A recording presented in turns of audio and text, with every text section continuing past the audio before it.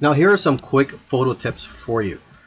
Only high quality photos are going to be accepted into stock photo sites. So if you want to have high quality photos, you need a high quality gear. So I highly recommend that you use a DSLR camera and a plain 50 millimeter lens is just fine.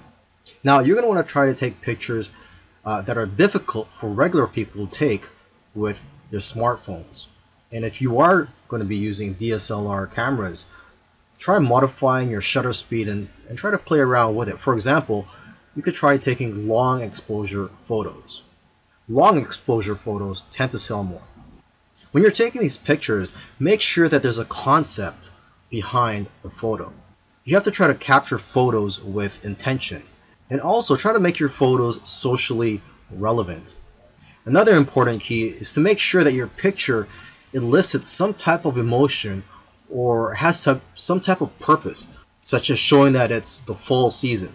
Now, photos that do well are in the niches related to food, health, beauty, fitness, money, and business.